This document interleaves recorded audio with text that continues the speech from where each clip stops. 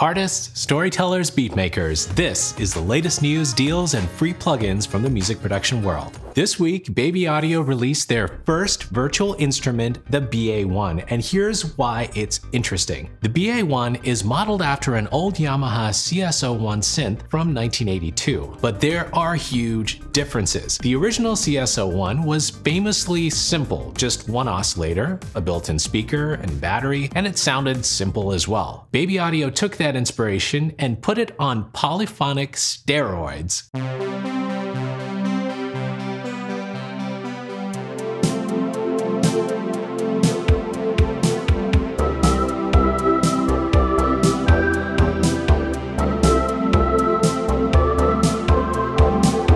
Another oscillator, reverb, delay, FM, filters, envelopes, sidechain chorus.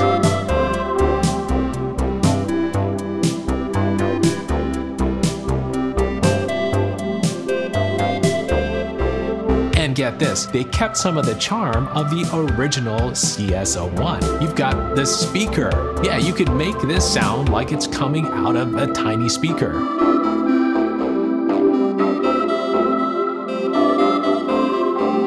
and the added battery control, which simulates some weird wobbliness, giving you an instant lo-fi sound.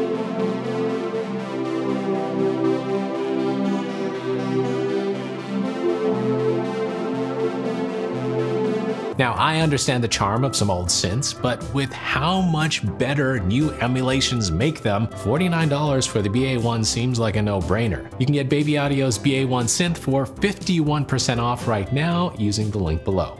Question of the week. With all the synth plugins available these days, is there really any need for hardware synths in the studio anymore? If you watched my studio tour, you know which side I'm on. But what do you think? Do you use hardware synths in your studio? Or do you really want one? Or do you think software synth plugins have taken over? Comment below. Teenage Engineering is at it again, this time with a microphone. The CM15 is a large diaphragm condenser mic, and you can run this mic three ways XLR, USB, or with battery power that's rechargeable. And it's got a built-in kickstand. The 1-inch diaphragm capsule in the mic is built by Peluso, who is known for high-quality mics. Given Teenage Engineering's historic prices, I was expecting this to be more expensive, but at $1,199, I would honestly choose this over that $1,600 desk they introduced weeks ago. Wait a sec, that desk is sold out? Well, IKEA, here we come. You've heard me talk about GPU Audio before. It's the company that has been making plugins that run on your computer's video card instead of the CPU. I said in the past that this opens up the possibility of running more powerful plugins than before, and it looks like things are headed in that direction already. GPU Audio has announced a partnership with Vienna Symphonic Library. They're going to release a convolution plugin that will use GPU's technology. The plugin they plan to release together, the Vienna MIR Pro 3D, allows you to place instruments and virtual microphones in a 3D space. Keep an eye on my channel because I'm soon going to put GPU audio to the test when I build my own music production PC from the ground up. Let's see what it can do. Stay tuned. Hey, remember when Darthi and I unboxed this crazy looking vocal booth thing? Well, Isovox just dropped a new portable vocal booth called Isovox Go. Now I really wished we had that one. Look at how it folds up into a bag. Now granted, it doesn't offer as much noise isolation as the regular version. The original Isovox booth offers up to negative 35 decibels of sound reduction, and the portable version gives you negative 10 decibels. Anyway, if you want to check out more about the new booth, I'll add a link below. Hey, we recently sat down with Devon Terrell and the My Audio Nerds podcast team to discuss some of my favorite gear, and wow, they asked some tough questions too. It's coming soon, I'll keep you posted.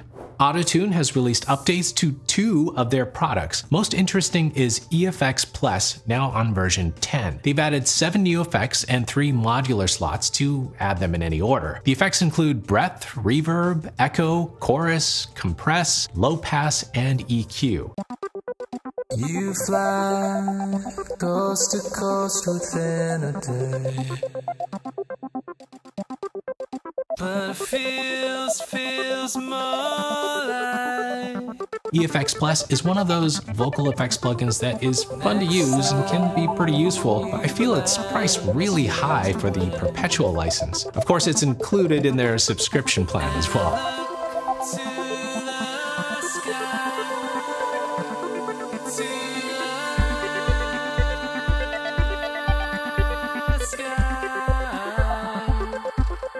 Antares has also updated Auto Key, which can detect the key of your song by just dropping the plugin on a track or dragging in a file. I'll add links below if you're interested in learning more about EFX Plus and Auto Key. Akai just dropped the MPC X Special Edition. It's pretty much the same as the MPC X, but the special edition adds more internal storage, now at 48 gigabytes, and more RAM for sampling. They've also added some additional MIDI ins and outs, and of course, that beautiful classic color. The MPC X isn't cheap, and the special edition adds a little bit more to the cost. You can get it for $2,499. Link is below.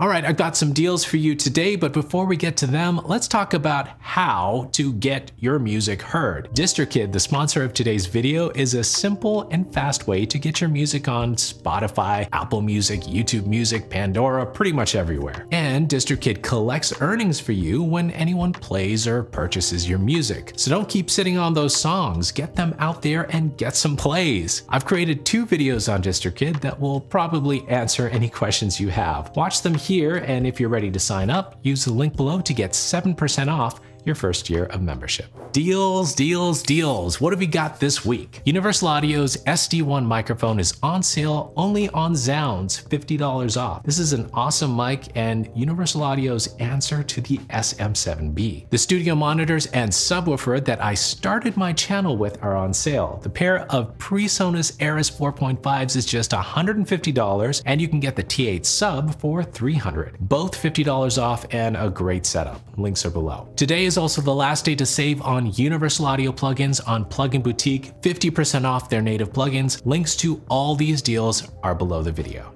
Happy birthday weekend, Sanjay C. We wish you so much love happiness, and success from all the daily good energy you put out into not only both your jobs, but into our lives and making progress in it for all of us. You deserve the best wishes, and we love you. To celebrate you, this next artist has been excited to be featured on your birthday weekend. mate Rudraga. Rudraga is from Kerala, India. He recorded his guitar and Ableton's drum rack to make this music. He used CLA 76 and Ozone Imager on the guitars and mastered it with Ozone as well. Thank you for being part of our MTMYL community. Please show some love to Rudraga and leave a comment on his Instagram and follow him on his socials for more art and music. To be featured on Sanjay C News, create a public post on Instagram featuring at least 60 seconds of your original instrumental music. Follow and tag Sanjay C and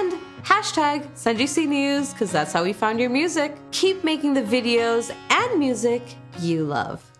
All right, it's time for this week's freebie. If you want more synth sounds from the 80s, check out the new plugin from nakst. Regency is a phase distortion synth, kind of like the Casio CZ. It's available in CLAP and AU formats. You can get it free using the link below. So a few weeks ago, I posted a video blind testing the top piano plugins available today, and it got the attention of a certain company that made changes to their software in response to that video. Can you guess which company it is? Watch that video and check the comments to find out. Keep making the music you love, and I'll see you next week.